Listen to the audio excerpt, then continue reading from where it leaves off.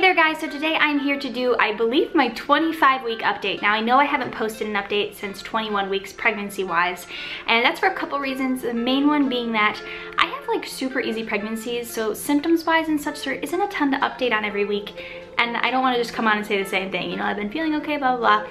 But you guys do know that there are some bigger things that have been going on with my cervix and such, and I mentioned a while back in one of Revelynne's updates about getting tested for a connective tissue disorder. So I now have almost all the answers for those things. So the first thing being my cervix, and I had my four consecutive week check, and every time my cervix had been around a three instead of a 2.5. Originally, the geneticist told me that they like to see it usually between between 3.5 and 4.5, but that three was still seen as normal, I guess. So I did grow and all four weeks I stayed around a three and so I was good to go. I didn't have to get my cervix stitched shut. I didn't have to go on any uh, progesterone, I think it was. So I'm super thankful for that. Um, it just ended up that I have a shorter cervix and then it kind of grew and it's not anything they're currently looking at anymore. I'm super thankful for that because if it had come back as getting shorter, I would have been put on bed rest and uh, preterm labor risk, of course, and it would have been very difficult to take care of Rev while being on bed rest.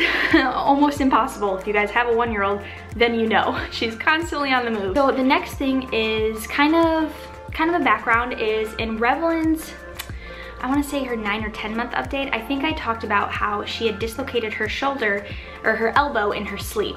And someone, one of you guys had actually mentioned looking into me possibly having a connective tissue disorder because they thought like things I had mentioned reminded them of it and that I could possibly have one. And it is genetic, so it's passed on. And so they were telling me to look into it to see if possibly it could be something that Rev has because dislocating your shoulder in your sleep is not normal at all. I was able to get an appointment with the adult genetic counselor pretty quickly, mainly because I'm pregnant, because they see it as more of a risk, obviously.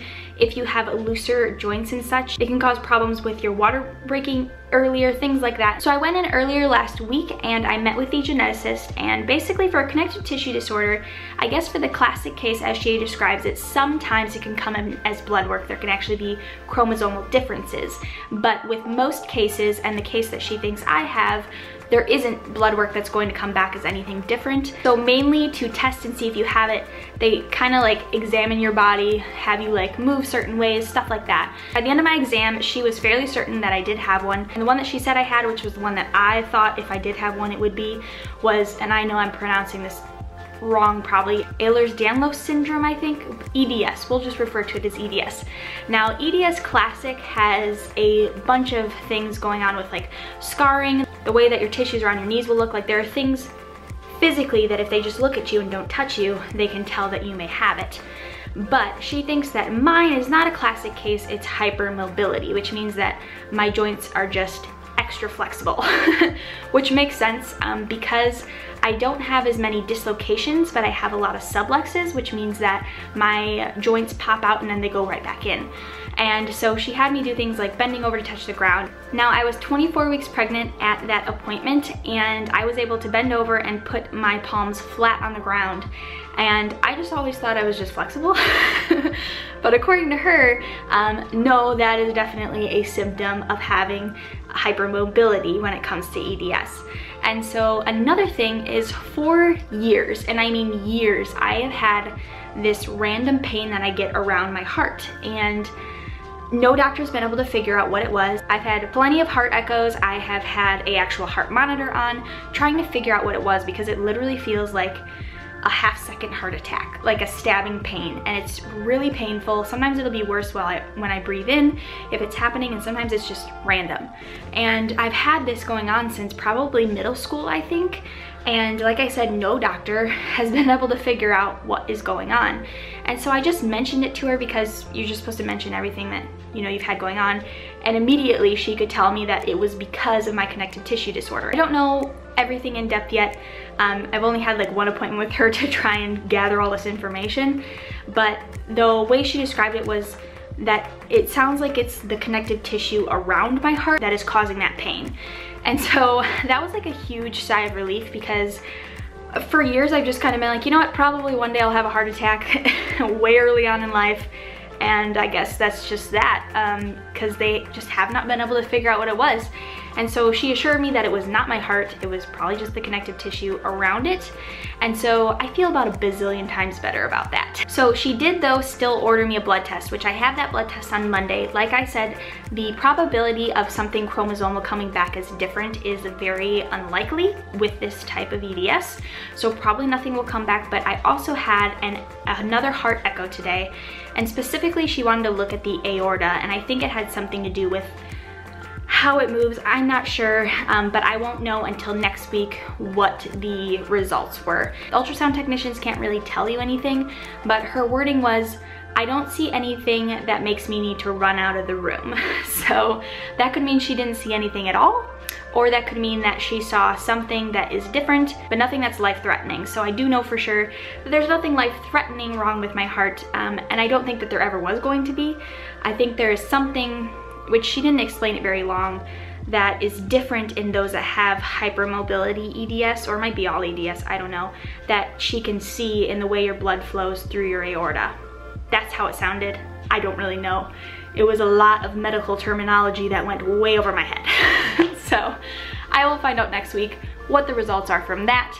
Um, but glad to know that there is nothing seriously wrong with my heart. If there had been, there definitely isn't. So that's a good thing. So along with that, she wants to see my daughter immediately, so I have to make an appointment for her. It sounds like she's worried about the fact that she is so small. Now, Revelynne is a year old and we just took her to urgent care and she was just under 17 pounds.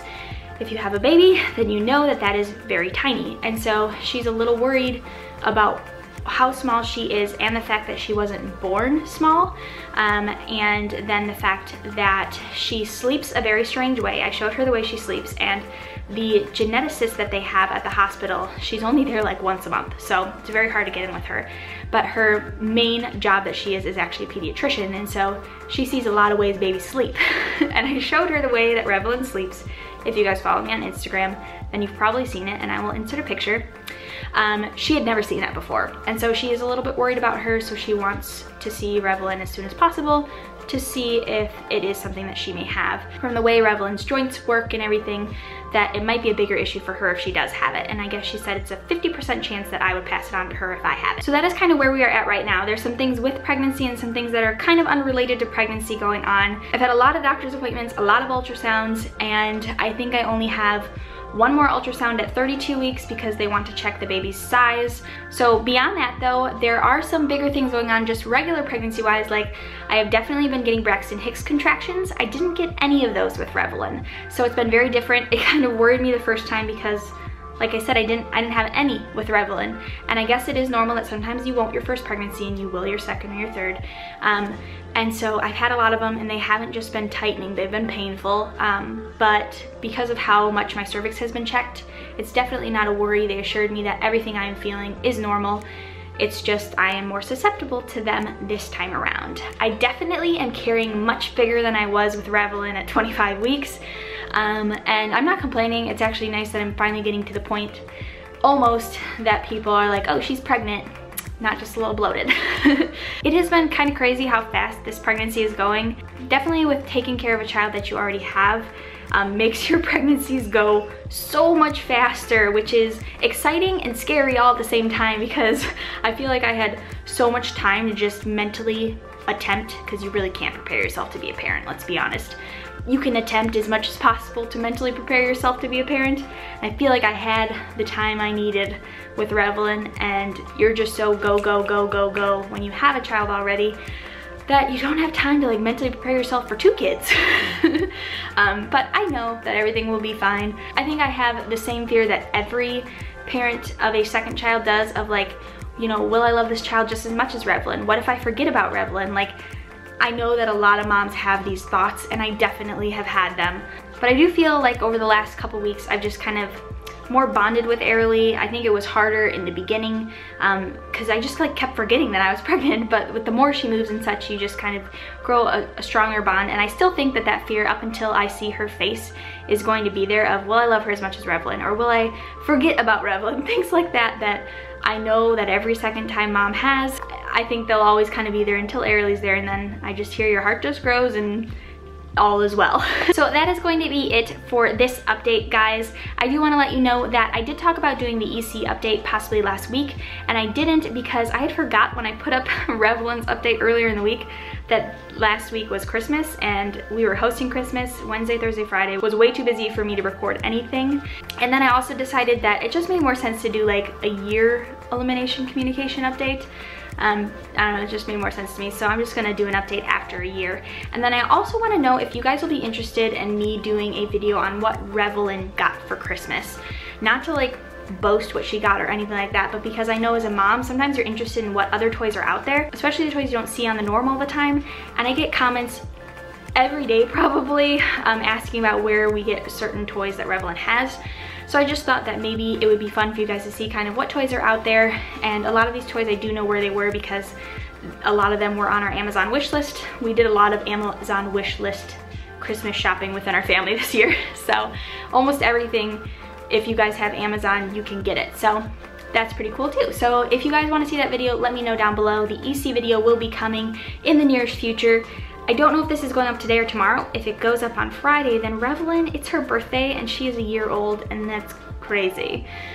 Which that is why this video might go up Friday instead of Thursday because I am crazy busy today with the last minute things I need to do for her party. I almost forgot to do the bump shot, so this is my bump at 25 weeks. I feel like every time I do a video, my bump looks smaller than it does like the rest of the day. And it's like midday, so it really shouldn't be that much smaller. I've eaten plenty today. Do, do, do, and Nana has decided Nana has decided to make like a banana cream pie or whatever just so she could play with bananas in the store. Our grandma's the best. so she love you guys remember she loves bananas and so she's good because it's about nap time and so we're trying to get all this done.